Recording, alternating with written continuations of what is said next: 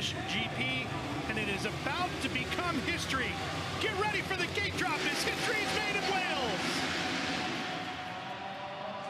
Oh. First hole shot's going to go to Roczen. Savatgy got there first. Tomac inside. Oh, He's in second. Savatgy's in third on the 17, and here comes the rest of the pack. well, here they are. The two fastest lap time riders that there have been here today, and once again they are back out front. It's going to be all-out battle. Roczen out front, Tomac in second. Arguably the two quickest riders in the world, running one and two in GP race number one here in Cardiff. Roczen, Tomac, Savatgy, Brayton, Friese, the top five right now. It's the German rider out in front. Eight laps here for race one.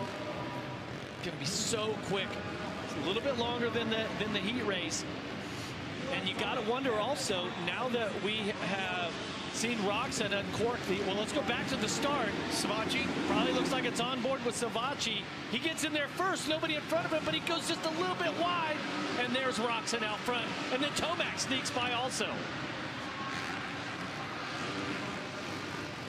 So, the quad is still in play. That may be what it's going to take for Roczen to win this main event at the end of that rhythm section. So, Kenny just ran the fastest lap so far, Jeff, with a 46.030. oh, lots. Oh, another rider down. Not sure who that is. And don't forget, Roczen won race number one in the AMA 450 Supercross season opener. The famed Anaheim won this year. He only ran nine races and then stepped away from the series in after Daytona back in March at Bike Week. That was Jordi Tixier had the French rider that went down with the. Oh, there it is. There's the The quad. quad! And it opens up a gap as you hear the crowd come to life here. So he goes from a. So he goes to a 45.7. Oh! Oh,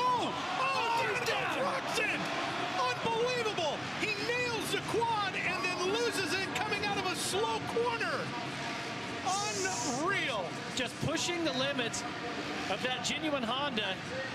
Watch right here. Just loses some traction with that front tire. He's like, oh, no, no, no. He's got it. Nope, I don't got it. Just sets the fastest single lap that anyone has set all day long. Clout, 18. Luke Clout is down. We've Yeah. got the red cross flags, yellow flags. He's off the track safely. Now the riders have to roll all the jumps through this section. Then after they get past the red cross flags, they can jump again. Meanwhile, Tomac checking out as he had the lead just handed to him by Ken Roczen. Oh, and Savatgy's down right at the finish line jump. Well, and that is a very tricky place because he has to go up and over. He has to go up and over that metal ramp. He's going to have to, oh, he's going to go He's back go around, around it. try to find a safe. Here he is, right there, second rider in the line there. Oh, he catches. Oh, Oh, just, there are a couple little acceleration bumps where oh, the how did Brayton get through there? Yeah, I think Brayton had to roll the finish line jump also. Let's go on board. Gets it all wrong, slams down. Meanwhile, Tomac still out front. Seven and a half second lead. Guys, with how hard pack and slick this track has been, riders are having to be patient when they open up the throttle coming out of a transition. Down here where I'm standing in the S turn, you can actually see where there's developing blue group. Riders are trying to time their throttle that way because if they don't, the rear end is kind of slipping out. Well, just, I mean, Tomac has been so good, and it's been Roczen and Savatgy that have made the big mistake. Here's Roczen. He's already caught up to Brayton. Roczen now in fourth. Jeff, how far up can he get? Tomac is trying to check out, but Roczen on Brayton, then Friese in front of him in second. There's Vince. Well, now here's where the three GP final races, okay, this is where this could come into play and work in Roczen's favor. Roczen looking to get inside on Brayton right here in the bull turn. Got it. Put Roczen in third. Now Okay. he sets sail after Friese. So up to third, possibly a second, but then you still have two more races to go. This was one main event, Tomac checked out, right? Okay, let's take a look. Oh, Clout oh. over the bars. Oh, man. He collects. Was that Nicoletti? Uh, no, Nicoletti in the two shot. That's two cars. I'm going to have to take a look and see which one of the Club and MX riders.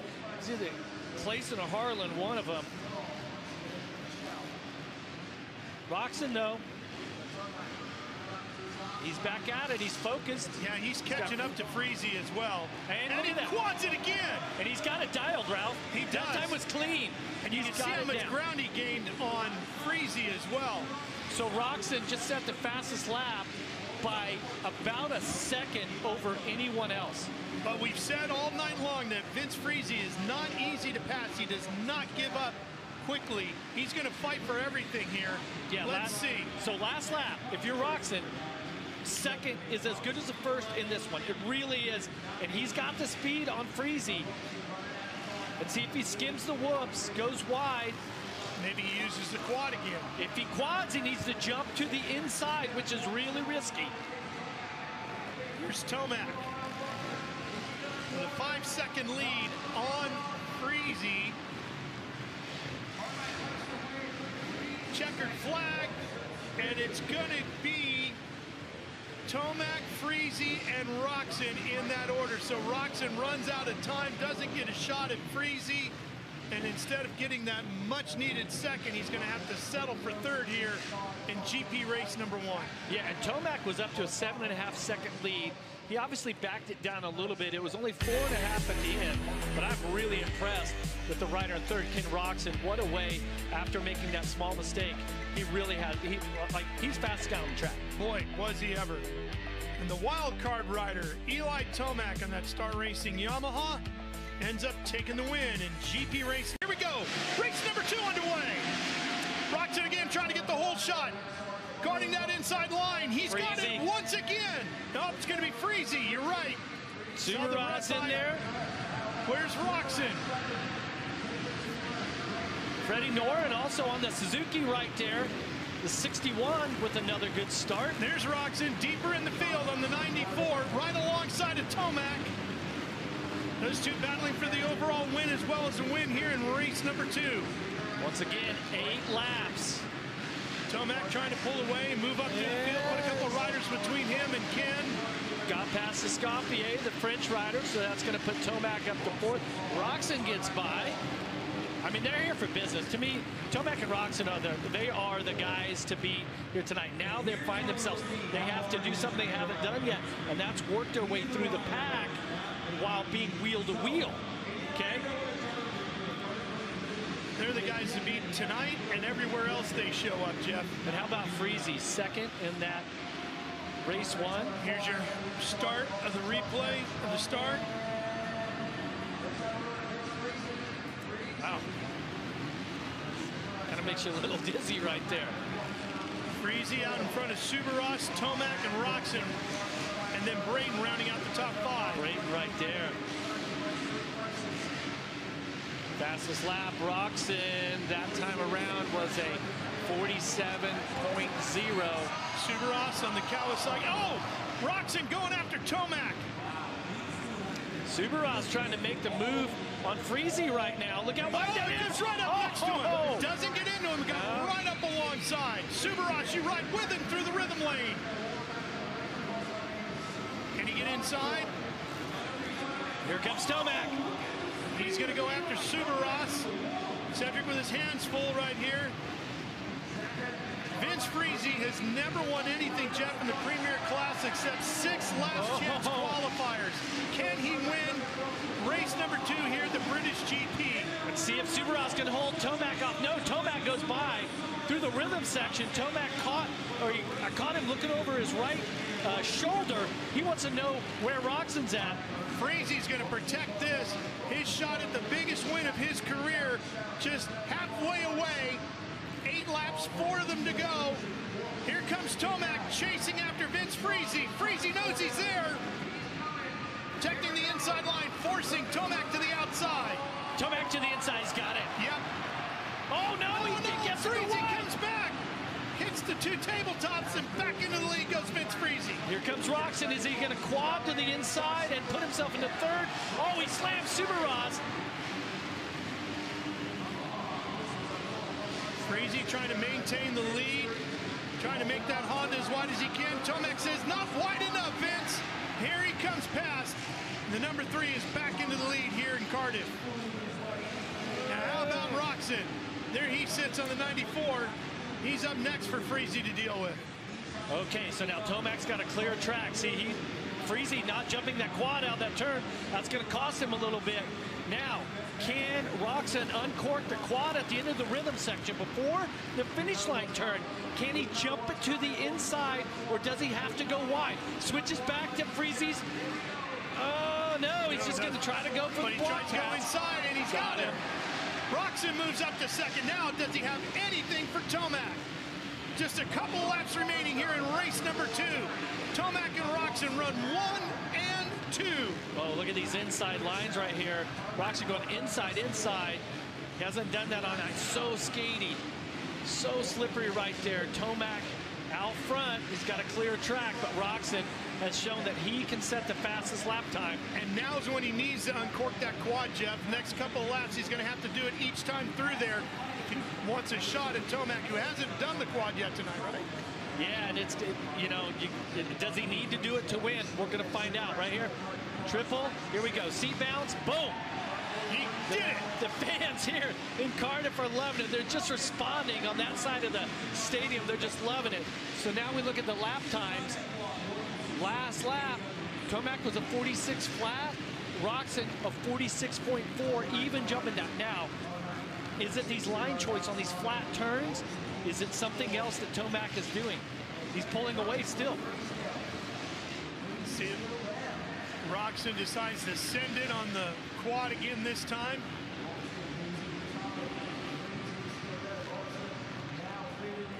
Full commitment out of Ken Roczen here tonight, no doubt about it. Here's your point standings. Tomac leads it by run. seven over Roczen as they run. Ken needs to win this one if he wants a shot at the overall British GP win. Well, and the problem, Ralph, is he's doing all the obstacles on the track that he needs to do. So where do you make up time? Well, you make up time in all the in all the turns and the flat sections, but that's where it's the most dangerous. That's where it's the easiest to make a mistake. Once you lean the bike over, you get on the side of the tire. That's when you push the front end like he did. That's when you accelerate and slide out exiting a turn. So right now, Tomac has put himself in a position where he, he doesn't have to do anything special. Roczen has to do something special if he wants to get back in it here because Tomac uh, is, on working on a perfect, perfect GP here. He's mistake free, and that's been the difference for Eli. He's fast, obviously, but the mistake free runs making all the difference. Tomac takes the checkers once again here in GP race number two. He has been perfect so far in the GPs. Well, he's just been mistake-free, but he had to work for that one. Didn't get the start he needed, but a bad start in the third and final race could really cost Tomac big time, especially if Roczen gets out front. Wow. Eli Tomac, Star Racing Yamaha rider on the wild card entry. Leading it all so far as he swept the first two GP races here in Cardiff tonight. Tomac, Roczen, Friese, Soubeyras with a nice run to fourth, and Savatgy will take a top five. Here's your replay, Jeff, as we get this one. All right, there goes the 30-second board sideways. Get ready. Anytime within five seconds, we're ready to drop the gate. Tomac trying to get the whole shot. He's in front of Roczen. He will not be the first one to the whole shot line. That'll be Brayton. Brayton is in front. Here he comes. Oh, and Friese gets a wheel in front of Tomac. Oh, and you got to wonder, where is Ken Roczen, number 94 in the genuine Honda? Savatgy right alongside on the 17. Oh, Ken, 10th. way Roczen's back. 10th. Oh, man, he's got a lot of work to do, Jeff. A lot of work. Yeah, yeah, but Brayton and Friese with those Moto Concept Hondas out front, they have been looking great. Is it possible that one of them take the win here in this 12 lap super final? A little bit longer, four more laps to go. Well, the one thing we know is an extra couple of laps won't hurt Tomac. He is as fit as any athlete in the world Oh, on a and, dirt bike. and look at everybody just inside, inside through this S-turn section.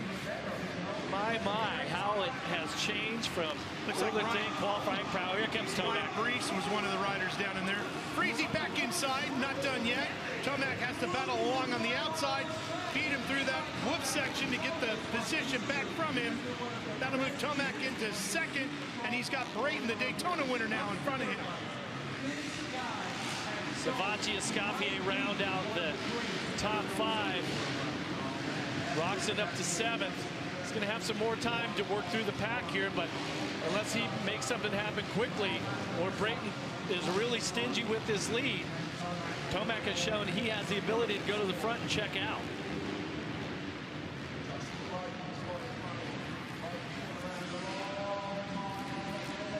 Easy Savatgy. Savatgy trying and up, not quite close enough to Friese.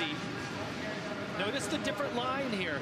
You've got Brayton jumping through the whoops, Tomac skimming across the tops of the whoops. Neither one of these riders. Uh-oh. Tomac inside, new leader. That was just too easy. I got to be critical. Like, come on, Brayton. This is for the win.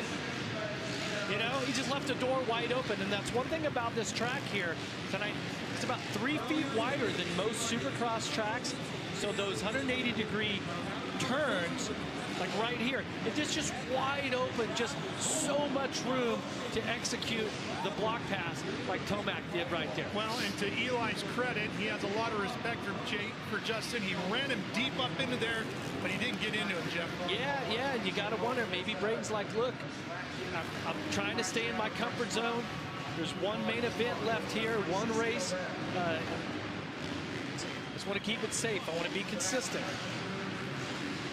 Here comes Roczen, number 94, up on the inside here. It's around Escoffier. He's got a long ways to go yet. Well, so Roczen now six and a half seconds behind your leader, Tomac. Closing in on the halfway point to race three. But Jeff- look how tight it all is. I mean, Jeff, this night it started off so well for Ken Roczen, winning his heat race, winning the Superpole. He looked like he was going to be the guy to beat here tonight, and it just all came apart in that first GP race. It, did, and maybe it changed the mindset a little bit, but also the starts. This is part of these Grand Prix races by having three final races, right? Three that that make up the GP. Um, you have to be great off of each and every start. You can't just rely on just, you know, it's not just one time you got to execute it, but it's three in a row. Short turnaround for each time. It's going to give everybody a lot to think about as they get ready to go to Melbourne next in two weeks. And look, look where the points are at. As they run, Friese is in a position to be second. You talked about consistency, and Vince has had that, hasn't he? Yeah, he certainly has. Brayton's last podium in a World Supercross race was a third at Houston in 2021, and he might pull it off here tonight in Cardiff, Wales. There he is. So Roczen has made up a little bit of time on your leader, like three tenths of a second, but just just not enough. Savatgy trying to get a third here in the super final. On board here with Soubeyras. Cedric's had a pretty good night all the way around, hasn't he? Yeah, I would say so. Solid night Running, for the running, French running seventh right now. Very successful racing Supercross in France. I'm not sure if you fans watching at home caught that, but watch what uh, Tomac does when he hits that big 75-foot triple. With his left hand, he actually takes it off the grip and adjusts his clutch. So it adjusts the, the play or how the clutch works and uh, so has that set up nicely. Clutches and rear brakes uh, really get tested here in World Championship Supercross. Look how close this is. Brayton and Savatgy, they're only three seconds separate Tomac, Brayton, and Savatgy. And Savatgy going for a career best finish in World Supercross competition. His best so far to date was a fourth in Minneapolis in 2019.